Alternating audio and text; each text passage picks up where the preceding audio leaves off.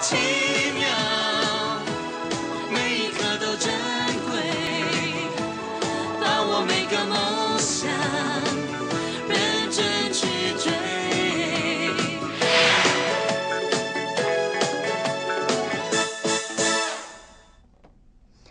回来。呃，我们在讨论的是强制接诊保险医疗费用的部分。哈，那过去我们节目当中呢，讨论过很多次关于这个五大天条啦，或者酒驾啦，哈。那这些状况底下，呃，保险公司赔了之后，呃，仍旧会向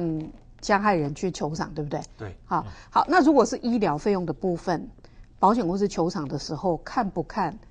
加害人本身的造责，或者受害人本身的责任，看这个吗？我们代位球场的话，基本上通通都是要看责任的。是。哦，这个他有多少责任，我们才能够跟他追偿。哦，所以这个没有办法，这个像我们强制汽车责任保险，这个不论有无过失啊，嗯，这个这么好的福利了，嗯，那跟跟人家追偿的时候是一定要看责任。嗯哼，所以如果是加害人酒驾造成对方受伤，他的医疗费用保险公司在赔了以后要追偿，对不对？会追偿。那那追偿的时候就是看驾驶人跟受害人他们中间的责任比例嘛，对对。就是就要厘清对要看双方的状况。是。对，好，所以所以基本上我们强制保险也不是说什么状况都都赔。都可以给付了哈、所以像这种状况哦，刚刚主持人提提到的这个五大天条哦，就是呃酒后驾车，嗯，哦，或者是那个呃呃呃吸食这个药毒品啊、药品啊、迷幻药之类的哈、还有就是故意行为，呃，犯罪行为啊，还有就是无照驾驶啊、业绩驾驶啊，这个就是说，虽然你被保险人，你有你有投保这个强制汽车责任保险，可是你犯了这五个天条，保险公司在给付受害人之后，他还是会依加害人的这个过失比例来跟这个加害人跟这个被保险人追偿。嗯诶，我觉得如果是残废或者死亡哈、追偿这件事情是有意义的哈，因为那个金额是很大。那有的医疗费用实在是不不多，这种状况底下，保险公司仍旧会坚持一定要追偿吗？因为这是法律这是法定的，嗯所以我们也要一定要做按照法律条文要做。但是会不会造成这个不必要的这个资源的浪费？基本上，这社尤其目前的社会大众都知道，这个对酒驾的话，我想是全民共愤的。我想，嗯哪怕是一点点的钱哦，不追回来的话，我们这强制险如果多赔出去，就社会大众大家一起要去平均分担这个保费。我想，这个原则之下，我们会尽力来这个做这个追偿。嗯，还有一种状况就是说，很多车主其实他有投保任意责任保险啊。那如果说呃，比方说我我肇事，然后我有任意责任保险，那我要被对方追偿的时候，我的保险公司会帮我赔吗？我的任意责任保险保险公司在强制险的部分，属于强制险的这一个部分的话，那个你有在其他的保险啊，除了我们刚刚有提到，就是所谓的单一驾驶的这一块，其他的都没有办法，大概强制车险不赔的任意责任保险都不赔对，没有办法这个。所以有保的那个保险也不太能够替我还这个被追偿的部分。呃，基本上这几个五大天条是你真的不能犯的啊哦。如果犯的话，就是我们强制险是一个基本保障，即使犯了，受害者这个有有到基本保障，还是要跟你要，因为这个有违这个社会公序良俗啊。嗯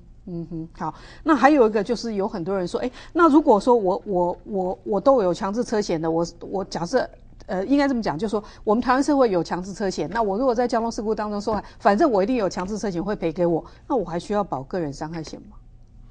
呃，其实其实那个那个强制保险它是政策性保险嘛，所以你所有的的的汽车、机车哈，依法都要投保。对那如果说这个当事人他另外又有保其他的这个这个这个伤害险然后人身保险，其实他理赔是是不不冲突的。嗯，哦，因为刚刚主持人有问到，就是说像那个医疗收据，好、医疗收据的话，因为一般合格的医疗验所，他他给你的医疗收据正本只会给你一份。是好，那你你如果说你要去申请你的人身保险，你就用要用正本去申请。那强制保险这边你可以用影印本，好，只是说上面要请医疗验所再帮你盖这个以正本相符的这个这个章。嗯，其实如果申请理赔的时候是不不冲突的。嗯，好，那我们今天在讨论这个医疗险的部分嘛，哈，我我不晓得两位有没有要提醒我们观众朋友，如果是在强制车险呃呃事故发生的时候，呃造成医疗需求，我们想要在后端的这个理赔非常顺畅的时候，呃应该注意什么事情？呃，其实呃，强制保险的这个这个申请理赔这个给付哈，这个手续非常的简便，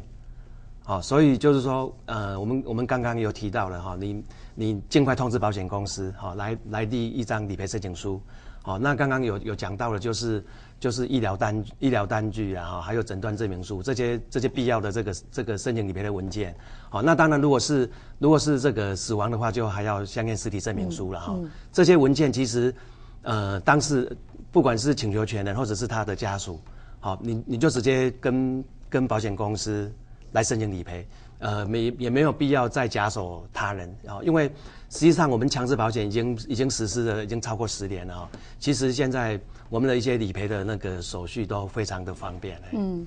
呃，还有一个问题就是说，呃，如果交通事故发生的时候，万一我们需要和解，那。我我如果需要的是医疗费用，表示我还在嘛哈，我还可以去争取很多有利的条件。这个时候强制车险已经付掉了这个医疗费用，可以当做是加害人已经付的赔款吗？